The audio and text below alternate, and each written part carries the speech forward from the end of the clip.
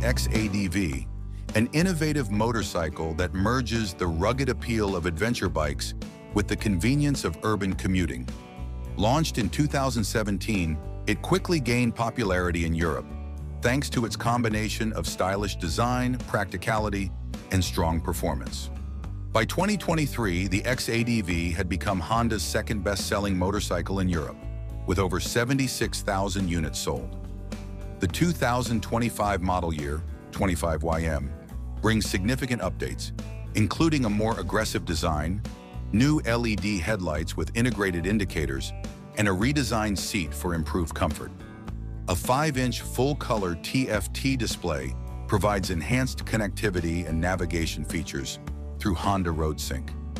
The motorcycle retains its parallel twin-cylinder engine, delivering 43.1 kilowatts of power and 69 newton meters of torque, alongside a fuel-efficient consumption of 3.6 liters per 100 kilometers. The XADV's advanced electronics include customizable riding modes, improved throttle response, and refined Honda Selectable Torque Control, HSTC, for better traction.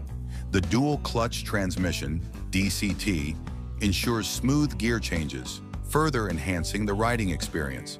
In terms of sustainability, the 25YM model incorporates recycled materials, reflecting Honda's commitment to environmental responsibility. The chassis features a lightweight tubular steel frame and robust suspension, making it well-suited for both city riding and off-road adventures.